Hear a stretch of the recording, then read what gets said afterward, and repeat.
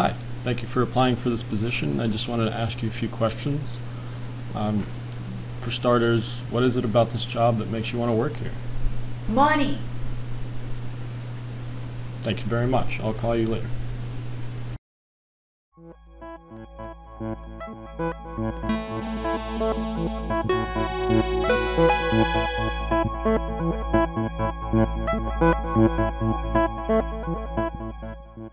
There are many different ways to assess an individual's personality. One of the most common ways is through an interview. So, an interview, I'm just talking about like a face to face meeting designed to gain information about a person's personality, current psychological state, or personal history. All of us have to go through interviews throughout our lives. You know, whenever you're applying for a new job, for example. Um, but the one thing you should always keep in mind when you have an interview is that they they don't need to know more about your qualifications. They don't need to know about your experience. Like you've already filled out that application or sent in your resume. They have that information. The point of the interview is to just see how you react, see how you respond to these really kind of annoying questions that are seemingly you know asked for every single job ever. So just keep that in mind. That it's about your personality. They're trying to figure out: Are you emotionally stable? Are you agreeable? Are you you know friendly? You know, and so on.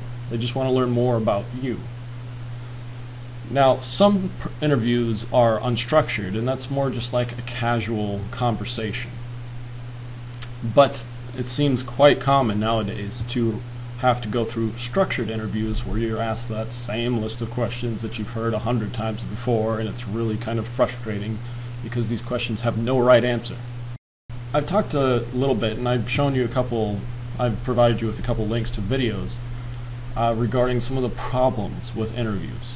Uh, interviews definitely have massive limitations, massive issues. For example, the interviewer is almost always going to be biased in some way. They're either going to be biased towards you or biased against you. It's very rare that you'll meet an interviewer that is completely unbiased.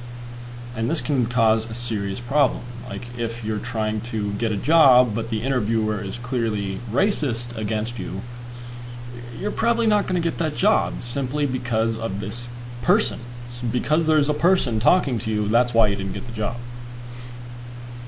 And sometimes it can go the other way. Sometimes the interviewer uh, can affect the interviewee. So when you go sit down for a job inter- interview, if that person interviewing you makes you feel different ways and makes you act differently than you would otherwise, that can also, you know, ruin the interview. Like maybe you're a guy and your interviewer is, you know, really, really attractive. That can be distracting. Or maybe you're you go to an interviewer and that interviewer is just like this big hulking scary looking person with you know all these massive muscles and tattoos and stuff. That can be pretty intimidating. And you'll definitely act differently with these kind of interviewers than you would with somebody else. A better way to assess personality is through direct observation. And that's exactly what it sounds like. You just watch people you know you assess behavior through direct surveillance and you rate them typically on various kinds of scales. Like how how often does this person engage in various kinds of behaviors? That's that's a behavioral assessment where you're just recording the frequency of certain kinds of things. Like how often this person you know opens the door for other people or how often this person says you know thank you when somebody does a kind deed for them or whatever you're just taking record of these kinds of observable behaviors. This might even involve a situational test, where the people trying to assess your personality will create an environment that is, you know, going to likely elicit certain kinds of behavior. So it's a real life situation or a simulated one where we're looking, we're going to put you in a specific kind of situation and just see how you react. I, there's many examples I could give, but one of my favorite examples is from the beginning of the first Men in Black movie. If you've never seen Men in Black, you should go check that out. It's a really good movie.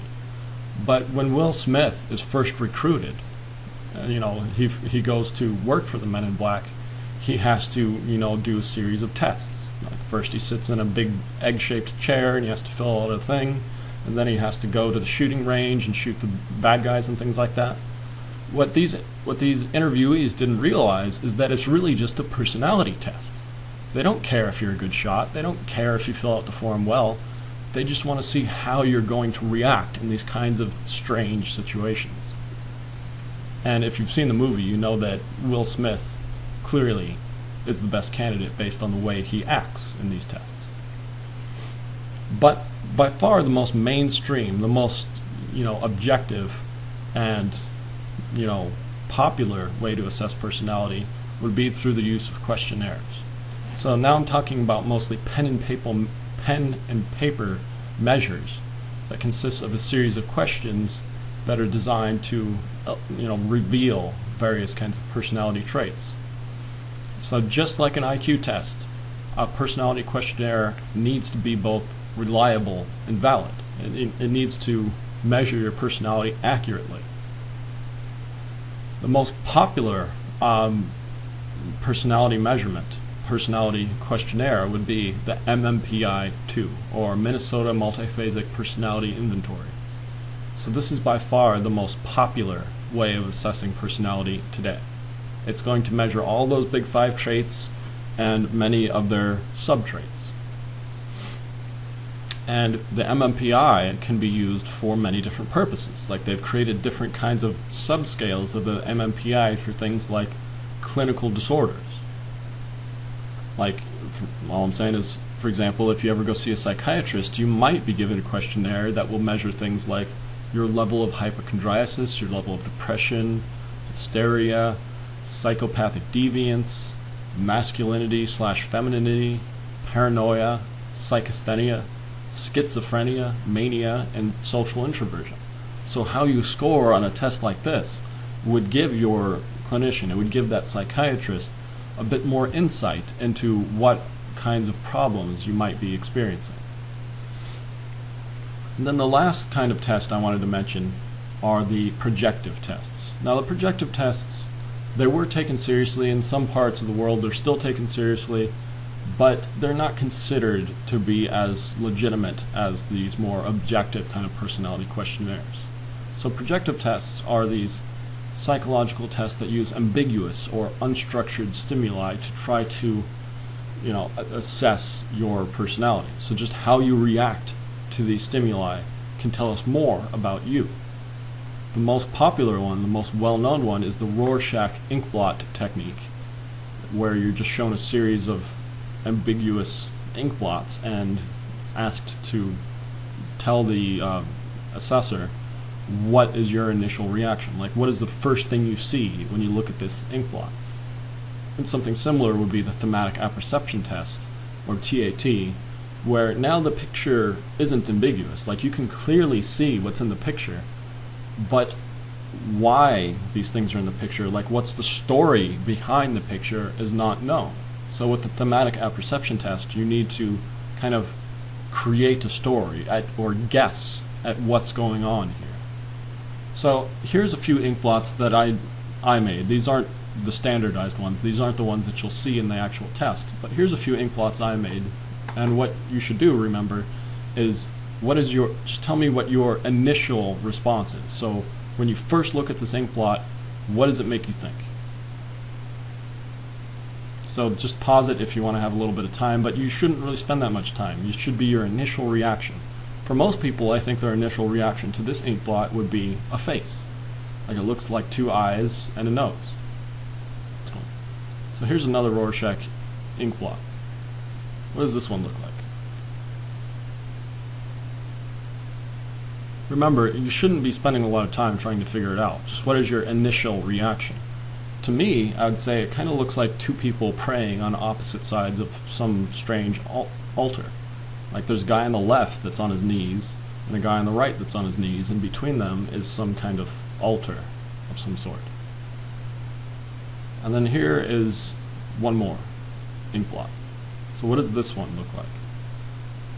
Now the very first thing that I see when I look at this is two people leaning way back, holding, you know, up a drink like this and just like taking a drink while leaning back. All right, and then now let's just look at a few of these uh, thematic apperception test images. And these images that you're about to see, they do definitely come from this thematic apperception test. So I didn't make these images. All right, so here's the first one. Just tell me what's going on here. Like, what's the story behind this picture? For this one, it'll probably take you a little bit longer because you have to look at all the different parts of the picture and try to guess at what's going on. Some common responses I've heard about this picture is, you know, the guy died and she's really sad about it.